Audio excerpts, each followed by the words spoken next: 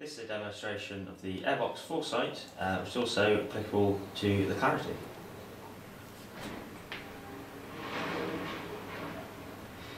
So here on the is the, start, the startup screen. You can see you've got route information, speed, distance, altitude and height on the left there.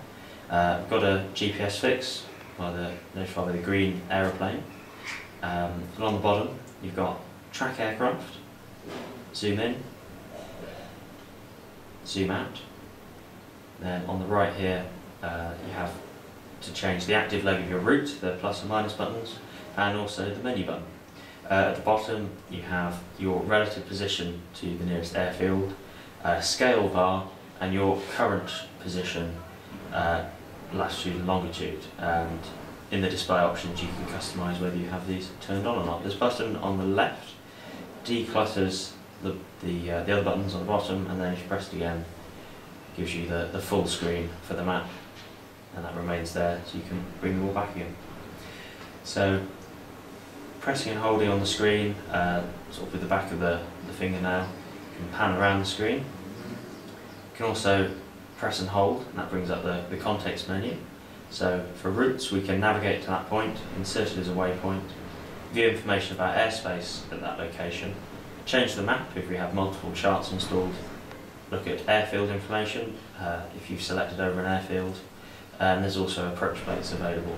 So if we have a if we look at the, if we navigate here first, so that will go from our current position to where we've selected. So you can see that that's going down to Grove there.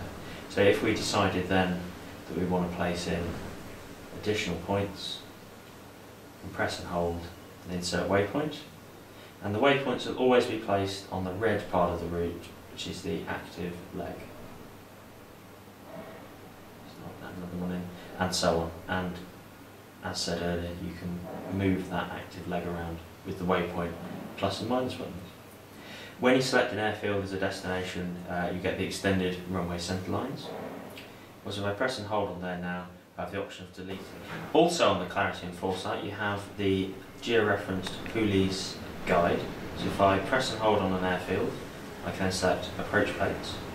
Uh, I've then got options of whether I look at noise abatement or routing charts or the airfield diagram, if you have a look at that. So then that, that lays the plate on the chart and you can see that we have uh, taxiways uh, and thresholds available there. They are georeferenced, so if, you, if you're taxiing along the apron there, out on taxiway alpha, you would see your aircraft icon moving there, which is very useful for large and unfamiliar airfields.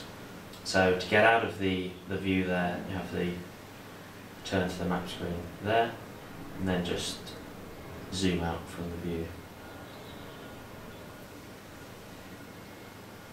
On this particular unit, uh, as standard, the units only come with the come with the 500k CAA charts.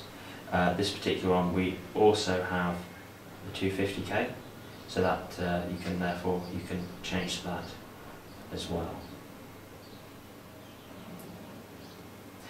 So when you've been panning around the map, you won't be the you won't be locked on the aircraft. So to to track the aircraft, you need to make sure that this button here is highlighted. If I just show you, go over there to have a look at something, do you have to press that to come back to the aircraft? And you can see here, because of the microlight strip, I've got an airspace warning with information there, and it highlighted on that.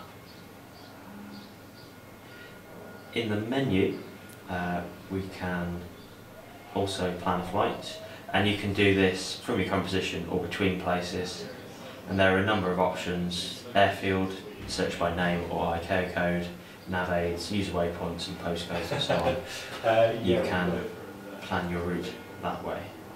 Uh, there's also a demo mode in the plan flight menu and that just allows you to see what the aircraft looks like as you're flying so you can see here I press that button and it'll, the map will move with the aircraft so you've got a five minute line in one minute gradients and you can see here an example of an airspace infringement and an airspace warning.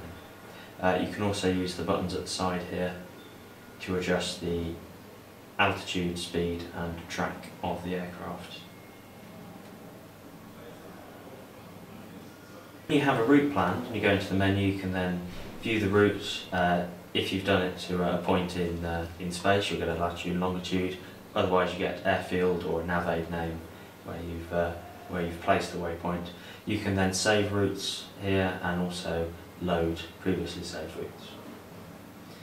Pilot information has a list of points of interest. So if you have uh, farm strips and that kind of kind of thing, you can you can press and hold on the map and save a POI at that location. So that allows you to manage those, and you can also see uh, any saved flight logs there.